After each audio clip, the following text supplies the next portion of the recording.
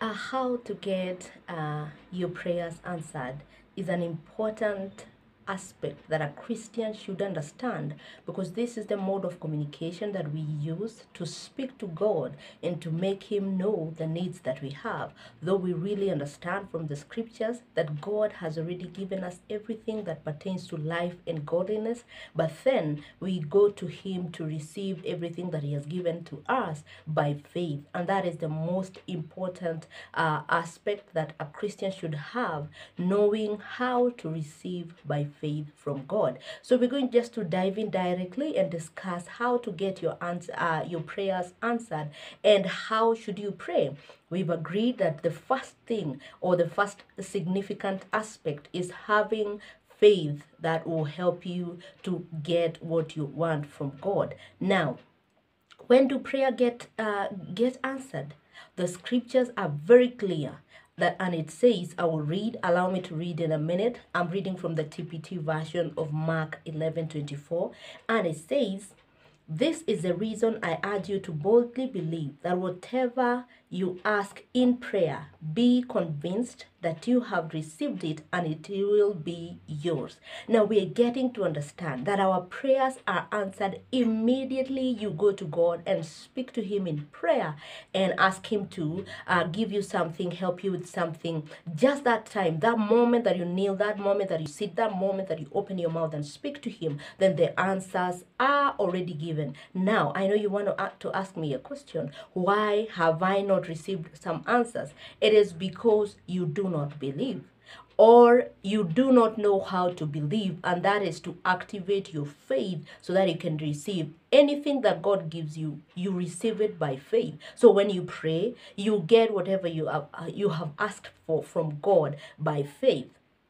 If you want your prayer to be answered, you have to have faith that whatever you are asking from God, He has given it to you and you have received it as the scripture has said.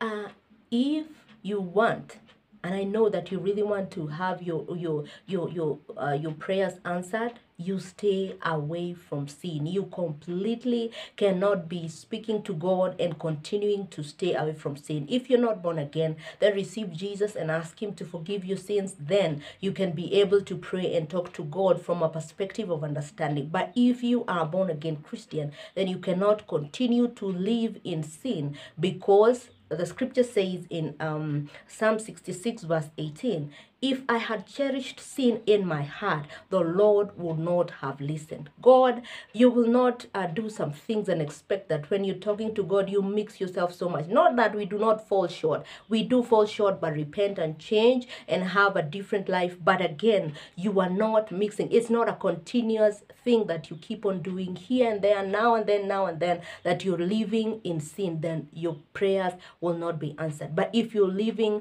a righteous life as you have been made made righteous uh, in Christ Jesus, then your prayers will get answered. And as we said, immediately you pray.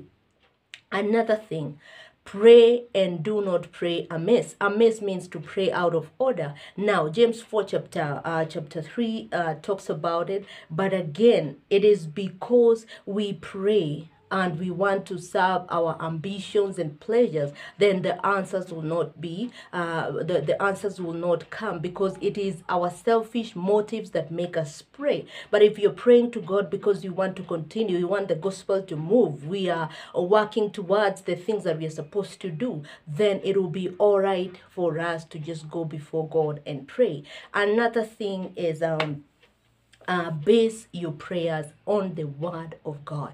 That is the most important, significant uh, aspect that a Christian should get to understand. Because I see people praying very funny things, and you hear people talking about things that cannot be quite understood. But you have to base everything that you pray. Read the word of God, and as a Christian, you cannot afford not to pray according to the word. You cannot afford not to know the scriptures because the scripture says, By the stripes of Jesus, we are healed. Then you have to get to understand that you pray from a perspective of understanding that it has already been done. Then you appropriate it by faith by receiving the healing that God has already given you. So you have to base your prayers in the word of God so that your prayers